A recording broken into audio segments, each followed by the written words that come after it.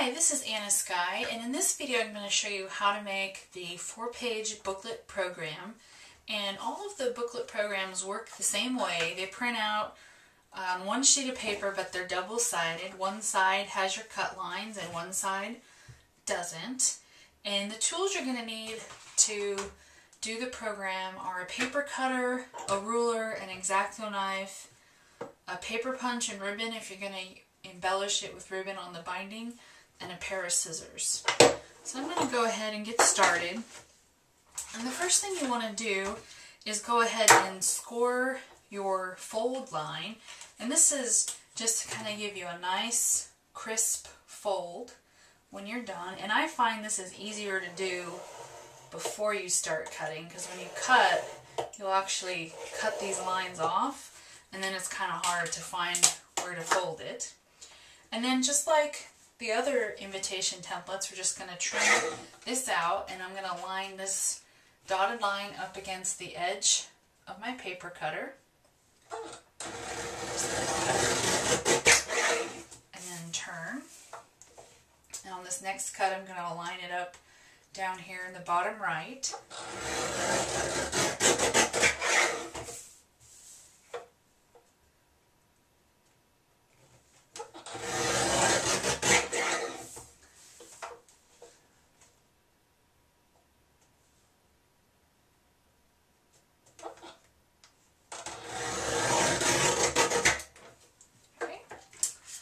Now, at this point, you could actually stop and you would just have a really simple booklet program. Looks like this, and you'd open it up, and there's the bridal party and the ceremony. In the back, you have your thank you message.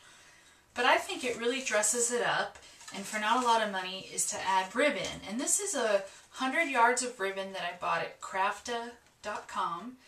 They don't endorse me, but I buy a lot of ribbon from them because I think this whole roll of ribbon was about $12 and it's enough to do 100 programs at least. And you're going to want to pull out a piece of ribbon, oh, I guess about two, say 24 inches, like so. And I cut a little angle on the edge of my ribbon and that's going to kind of work like a needle to feed it through my holes. And then I like to hold the binding like this with the uh, fold up. And this is a paper hole punch that I got at my scrapbook aisle and it's actually a small diameter hole punch typically used for brads and scrapbooking. But I find that this makes a smaller hole than say a normal punch that you would use for notebook paper.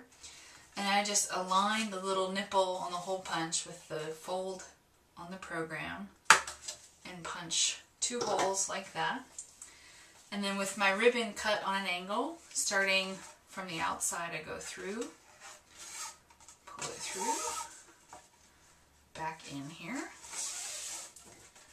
and get my ribbon about like so, to even ends. And then to make the bow, this is how I do it. I make an X like this, bring the ribbon under and through, so that gives me kind of a cross shape. Take my free index finger, hold down the cross, loop it over my thumb, pinch it where my finger was, go around the loop and through the hole and pull. And then I just kind of even out my loops.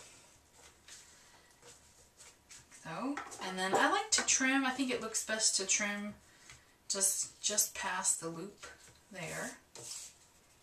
And I probably started with way too long of a piece of ribbon, but you'll get a feel for that once you do a few. And then you can just kind of adjust that knot so it's smack dab in the middle. And there you have it, your very own four-page booklet program. And one fun idea is to buy two colors of ribbon and do half your programs in one color and the other half in the other color. And they look really pretty when they're stacked in a basket at your wedding ceremony.